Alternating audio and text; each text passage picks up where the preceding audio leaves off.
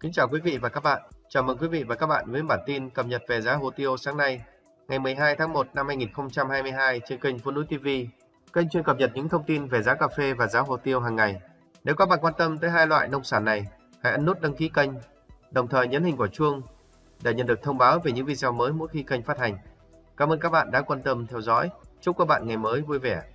Thưa quý vị và các bạn, báo cáo về tuần đầu tiên của năm 2022 từ ngày mùng 3 đến ngày mùng 7 tháng 1, Hiệp hội Hồ tiêu Việt Nam VPA cho biết, tại khu vực Nam Á, giá hồ tiêu Ấn Độ xu hướng giảm.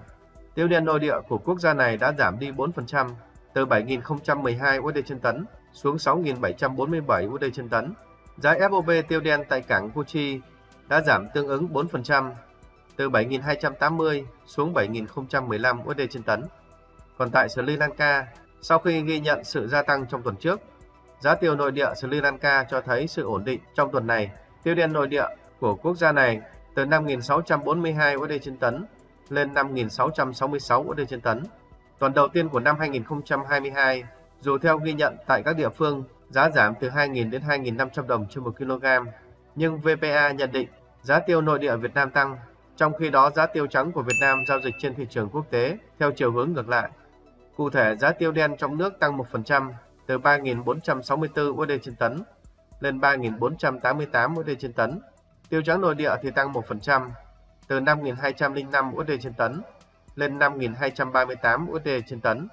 Giá FOB tiêu đen tại cảng thành phố Hồ Chí Minh giao dịch trong khoảng 4.200 USD trên tấn lên 4.218 USD trên tấn với loại 500g trên lít. Đối với tiêu loại 550g trên lít vẫn ổn định ở mức là 4.400 USD trên tấn. Giá FOB tiêu trắng tại cảng thành phố Hồ Chí Minh giảm 1% từ mức 6.260 USD trên tấn xuống 6.200 USD trên tấn. Giá tiêu đen tại Indonesia tiếp tục giảm do sự suy yếu của đồng rupee Indonesia so với đồng USD. Trong khi đó, giá tiêu nội địa Malaysia giao dịch trong nước và thị trường quốc tế ổn định ở tuần trước. Với thị trường hồ tiêu trong nước, theo ghi nhận sáng nay, giá hồ tiêu trong nước được thu mua trong khoảng từ 76.000 tới 79.500 đồng một kg và có dấu hiệu chấm dứt đa giảm trong những ngày vừa qua. Tại hai địa phương là tỉnh Đắk Lắk và tỉnh Đắk Nông, giá hồ tiêu được thu mua quanh mức 77.500 đồng một kg. Giá tiêu tại tỉnh Gia Lai ghi nhận ở mức 76.000 đồng một kg. Trong khi đó tại tỉnh Bà Rịa Vũng Tàu ghi nhận ở mức là 79.500 đồng một kg.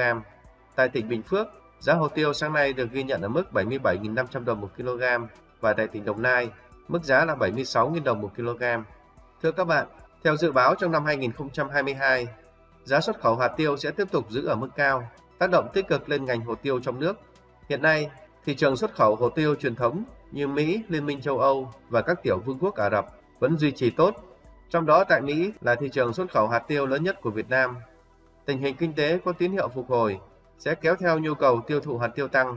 Trong đó hạt tiêu của Việt Nam đã tạo được chỗ đứng khá vững chắc tại thị trường này. Các bạn vừa nghe những thông tin cập nhật về giá hồ tiêu sáng nay ngày 12 tháng 1. Cảm ơn các bạn đã quan tâm theo dõi. Xin kính chào và hẹn gặp lại các bạn trong bản tin tiếp theo.